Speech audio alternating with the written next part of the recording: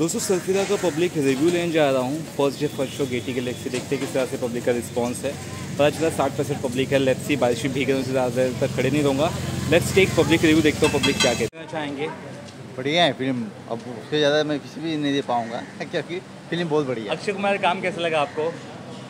उनका भी काम तो जो था सर आपको भी बट उससे अच्छी है उनकी औरत का जो काम था वो बहुत बढ़िया और गरीब लोग के लिए प्लेन उड़ाने का जो मैसेज है बढ़िया super message super super public को देखनी चाहिए फ़िल्म एकदम देखनी चाहिए पैसा तीनों से ना तीनों सौ देखना चाहिए। रेटिंग है पाँच में से? Yes sir thank you sir भाईजान फ़िल्म कैसी लगी काका? भाईजान फ़िल्म कैसी लगी काका? क्या कहेंगे? ब्रदर पिक्चर कैसी लगी? क्या कहेंगे आप? अच्छी लगी अक्षय कुमार काम कैसे लगा? अच्छा लगा। पब्लिक को देखनी चाहिए फ़िल्म हाँ। सबसे बेस्ट चीज़ क्या लगा फ़िल्म में? अक्षय कुमार ही लगा। थैंक यू भाई थैंक यू ये आपको क्या बहुत कहेंगे अच्छी पिक्चर लगी अक्षय कुमार सर का काम कितना कमाल का बहुत अच्छा है सबसे अच्छा है। गरीब लोग को जो फ़्लाइट में पहुँचाने का जो तरीका है एक रुपये में वो कितना बढ़िया लगा? बहुत अच्छा है ऐसा पैसा होना ही चाहिए। आज अभी भी होना चाहिए बहुत पहले जो होता अभी भी होना चाहिए। अक्षय कुमार का काम कह रहे बहुत अच्छा है बहुत अच्छी है बहुत अच्छी एक्टिंग भी अच्छी है बहुत अच्छी है। और परेश रावल काम कैसे लगा आपको? ठीक है लेकिन जो सपोर्ट है उसके उनका काम भी उनकी एक्टिंग अच्छी लगी उनका भी अच्छा लगा। अच्छा आपका पैसा वसूल हुआ? अरे बहुत अच्छा। पब्लिक को देखना चाहिए? देखना चाहिए। पाँच में से एक बार स्टार तो देखना चाहिए कम से कम। कितना स्टार देंगे पाँच में से? पाँच में से पाँच। थैंक यू सर क्या अच्छा लगा मूवी में? पिक्चर में अच्छा रोल है और, एक्चुअली एक रुपया जो टिकी है उसके ऊपर जो स्टोरी है बहुत अच्छी है। अक्षय कुमार का काम कैसा लगा मूवी एक नंबर मेरा लगा अच्छा था? एक नंबर। क्या रेट करोगे पाँच में से मूवी को? थैंक यू सबको देखना चाहिए? सबको देखना थैंक यू मूवी में। चाहिए स्टोरी स्टोरी अच्छा है? एक नंबर। अक्षय कुमार कैसे लगे मूवी में? अच्छे लगे मस्त। क्या क्या कहना चाहोगे? एक रुपए में फ़्लाइट का सफ़र कैसा था? जिस हिसाब से स्टोरी अच्छा है बेस्ट एक परेश रावल कैसे थे मूवी में? वो तो जैसा विलेन अच्छा था। रेट क्या करोगे पाँच में से मूवी को?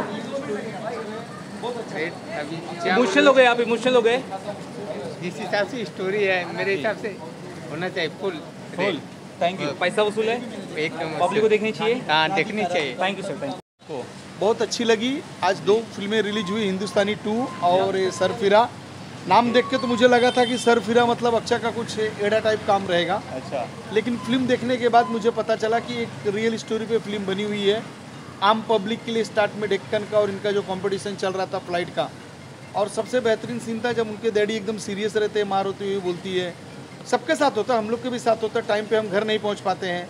फिर ट्रेन का या फ़्लाइट का प्रॉब्लम्स रहता है। तो उस समय जब वो एयरपोर्ट में एकदम आँख में पानी जैसा आ जाता है जब एयरपोर्ट में सबसे पैसे माँगता है टाइम पे नहीं पहुँच पाते हैं। उसको देखते हुए उनके जहन में आता है कि भाई ये कंपटीशन मुझे करना पड़ेगा। और उसको करते वो सक्सेस होते हैं। और पिक्चर में कई जगह ऐसा हुआ कि एकदम भावुक जैसा सीन हो जाता है। और लोगों को ये है कि भाई एक बार देखना चाहिए। अब तक अक्षय की तो पिक्चर जल्दी में देखता भी नहीं था देखता था। मुझे पसंद ही नहीं थे बट इस फ़िल्म में उन्होंने काम बहुत बेहतरीन किया है। अक्षय ने परेश रावल ने राधिका ने। इसकी एक साउथ में मतलब रीमेक बनी है ये मूवी उड़ान जिसका नाम था। हाँ हाँ क्या लगता है ऑडियंस को ये देखनी चाहिए या फिर रीमेक का इंतज़ार? नहीं दोनों देखेंगे तो ये तो हिंदी में है वो साउथ वाला बता रहे हो। बट लेकिन ये जो अक्षय की बनी है बहुत बेहतरीन फ़िल्म है। एक बार तो आना चाहिए लोग डायरेक्टर के बारे में क्या कहना चाहेंगे? सुधा कोंगड़ा। नेशनल अवार्ड मिला उन्हें। डायरेक्टर सुधा कोंगड़ा। हाँ। कैसा काम रहा उनका? नहीं उनका भी काम बहुत बेहतरीन था। राधिका मदन के बारे में क्या कहेंगे जो हीरोइन है। वो तो उनकी बहुत फ़िल्में देखा हूँ राधिका की। इसमें अच्छा। तो एकदम अलग ही इसमें अंदाज में उन्होंने काम किया है। अच्छा। हाँ मतलब जैसा अक्षय कुमार स्टार्टिंग में एडा टाइप बताया फिर उसने भी एक्टिंग की है। मतलब इंटरवल के पहले और इंटरवल के बाद मतलब बहुत अच्छा काम है बहुत बढ़िया है। स्टोरी बिल्डअप कैसे कर पाई है इंटरवल के बाद? एक सरप्राइज़ भी बताया जा रहा है मूवी में वो कैसा था? थोड़ा है। जी। थोड़ा हटके है। ओके लेकिन कहीं ऐसा नहीं है कि हम बोर हो रहे हैं या बैठ रहे हैं उब रहे हैं बाहर चले जाएँ। ऐसा नहीं है इस फ़िल्म में। शावल जो विलन है उनके बारे में क्या कहेंगे? इतने सालों बाद देखा मैंने उनको इस फ़िल्म में। वो जो कंपटीशन के मामले में उसको टॉर्चर करना है ये करना मतलब ठीक है उनकी मतलब पुराने परेश रावल फिर से लौट रहे हैं। अच्छा लास्ट में रेटिंग क्या होगी? फाइव आउट ऑफ़ साढ़े चार देना चाहता हूँ। साढ़े चार। Thank you so much thank you